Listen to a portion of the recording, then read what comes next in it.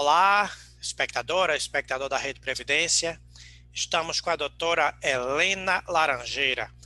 Esta é advogada gaúcha de sucesso que domina, que tem um conhecimento profundo sobre o tema aposentadoria especial. Explicando para você que não, não, às vezes muita gente confunde aposentadoria especial com segurado especial. O, a aposentadoria especial é aquela aposentadoria em que a pessoa a que faz jus a pessoa que está exposta à eletricidade, arma de fogo, ruído, é, substâncias tóxicas, cancerígenas e vários outros agentes nocivos. Então, a primeira nós tivemos uma reforma da Previdência no ano passado, e a primeira pergunta que eu faço à doutora Helena, agradecendo desde já a gentileza de nos dar essa entrevista, doutora, à Rede Previdência, é como fica a aposentadoria especial após a reforma da Previdência? Primeiramente, Ricardo, queria agradecer o convite de participar dessa, desse projeto que tu vens, um, enfim, gerenciando com maestria. E, bom, a, a reforma da Previdência ela foi muito prejudicial para a questão da aposentadoria especial. Por quê? Porque ela estabeleceu uma idade mínima para a aposentadoria, o que antes não havia, né? nas regras previdenciárias de, de aposentadoria. Hoje, uma pessoa, para se aposentar para aposentadoria especial, ela precisa ter os 15, 20 ou 25 anos né, de tempo de contribuição. No entanto, se estabelece que, para aquelas atividades que se enquadravam pelo, pelos 15 anos, se precisa de 55 anos de idade. Ninguém começa trabalhando com 40 anos. Né? Então, assim, isso praticamente inviabiliza a aposentadoria especial nesse sentido. Assim como as de, as de 20 anos são é 58 anos e a de 25 anos de contribuição, a, a aposentadoria especial mais comum, ela exige 60 anos de idade. Só que se a gente vai diminuir 25 de 60, fica 35. As pessoas não começam a trabalhar com 35 anos, não é? Então, assim, isso realmente inviabiliza basicamente a proteção social que se vislumbra com a aposentadoria especial, que é justamente tirar a pessoa daquele meio insalubre ou periculoso, ou enfim, uh, exposto às diversas formas, né, às diversos agentes nocivos que a gente tem conhecimento. Outra coisa que aconteceu foi que, após a reforma, uh, não, se, não é mais possível a conversão do tempo especial em tempo comum. A reforma veda isso expressamente no artigo 25, parágrafo 2 da emenda. Então, assim, só, só é possível converter o tempo, o tempo especial em comum agora para aproveitamento do tempo, para tempo de contribuição, enfim, até a reforma, né? Até a data da publicação da reforma. Então, a reforma ela veio em peso para prejudicar a questão da aposentadoria especial. Ok. Isso gera uma perda em termos de, de renda para a pessoa que se aposentar pela aposentadoria especial após, pelas regras posteriores à reforma da Previdência? Bom, a, o cálculo da reforma ele veio também muito prejudicial porque ele passa a ser a, a, a, englobar, né, todo o período contributivo do, do, do segurado 100%, né? Antigamente se descartavam as 20% menores, isso quer dizer, geralmente, no início da carreira, no início da, da vida laborativa da pessoa, ela recebe menos, né? Recebe um, abaixo, vai crescendo. Então, se havia esse descarte de 20%, isso é um quinto do, da, do período contributivo, ele era descartado quando ele era um valor mais baixo. Hoje não é esse descarte, é feita uma média de 100% das remunerações.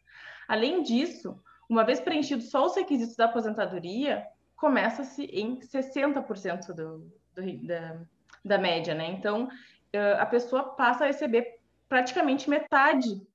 Preencher o requisito é metade do, da remuneração da, dessa média salarial.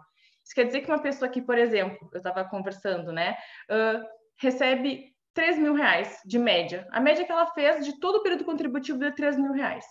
Ela parte de 1.800 é muito prejudicial. O cálculo das novas aposentadorias vem, vem muito prejudicial ao segurado, conforme tu colocaste muito bem, é o segurado que paga o pato de uma reforma dessas, né? Não se, não se trabalha em outras, em outras questões de gerenciamento e, e sim, é muito prejudicial.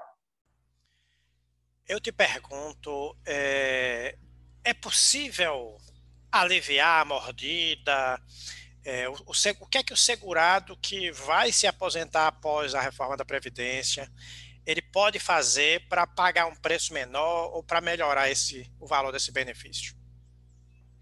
Bom, a primeira coisa é que hoje, o que, o que eu entendo é que após a reforma, houve uma valorização importante da advocacia previdenciária. É que os segurados não busquem, ou não, pelo menos não façam diretamente requerimento no INSS. Até podem ir ao INSS se informar sobre as questões da aposentadoria, entender melhor os seus direitos, mas apenas chegar no INSS entendendo que tem uh, o direito à aposentadoria e já solicitar é muito, muito perigoso. Pode, pode ser muito danoso né, ao, ao, ao segurado. Por quê? Hoje existem várias regras de transição e o segurado pode se enquadrar em várias delas e com a, o auxílio de um profissional ele pode optar por, pela regra mais benéfica, às vezes esperando alguns meses, ou um ano ou dois a mais, enfim, e, e, é, e, é, muito, muito importante fazer um planejamento hoje da sua, da sua vida previdenciária, não é simplesmente chegar, né? Então, com relação a ganhar, a não ter tantas perdas, hoje, mais do que nunca, aproveitar todos os períodos que se possa no, na, na, questão da vida uh, laborativa do segurado. Aluna, a jovem aprendiz, aluna aprendiz, rural, a questão de de contribuinte individual, eventualmente algum período a ser indenizado, tudo, todos os períodos, simplesmente todos os períodos devem ser avaliados, porque... Vínculos cada... trabalhistas que não foram reconhecidos também? Todos. Tudo que não, que não estiver uh, constando no CNIS, né, no, no, no cadastro do, do segurado, é muito importante que se busque. Se ele lembrar, se ele tiver consciência, se ele achar que tem documentos que pode comprovar, é muito importante. Porque a cada ano que passa dos 20 anos de contribuição, se ganhar 2%, né? Então, uh, 21 anos, 62%, 22 anos, 64%. E assim vai se chegando ao mais perto possível do 100%. Porque 100%, para a pessoa receber 100%, ela tem que ter 40 anos de, de trabalho, né? Então, realmente é bastante tempo. Doutora, eu imagino que vários trabalhadores expostos a essa situação vão ao seu escritório estamos é, é, em outubro, né? Vão ao seu escritório, outubro de 2020, quase um ano depois, é, e tem um passado. Eu pergunto, o direito adquirido, vocês exploram a hipótese de direito adquirido? Como é que vocês.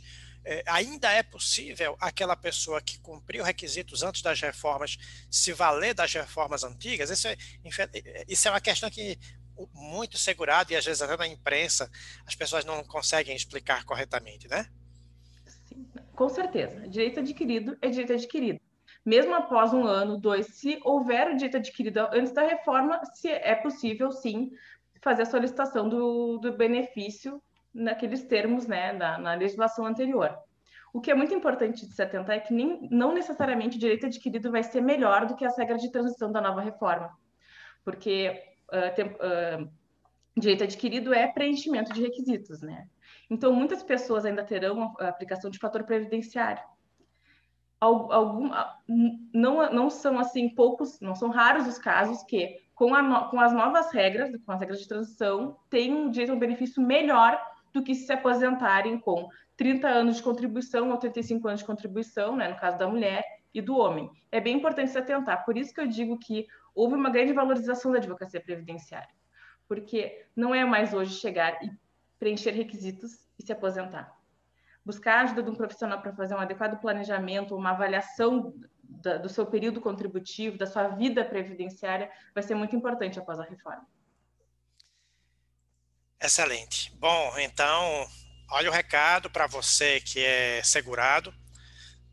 Antes de tudo, veja seus direitos. Certamente um profissional competente como a doutora Helena ver vários cenários para você e vai ser capaz de identificar qual, qual é o melhor cenário, qual é a melhor alternativa, para que você não vá ter acesso a um benefício depois de muito tempo queira revisar e às vezes não é mais possível. Doutora Helena, eu quero agradecer muito a sua presença, os conhecimentos que a senhora trouxe para a gente, dizer que a, as portas da Rede Previdência estão sempre abertas, é, enfim, a minha grande gratidão e obrigado pelos valiosos esclarecimentos. Muito obrigada. O agradecimento é todo desse lado daqui. O Sul agradece o convite, né, aqui para participar de um projeto tão, tão importante assim para de, de comunicação né, de, de propagação de informações para os segurados e também para os advogados. Eu, eu fiquei muito honrada em receber esse convite. Muito obrigada.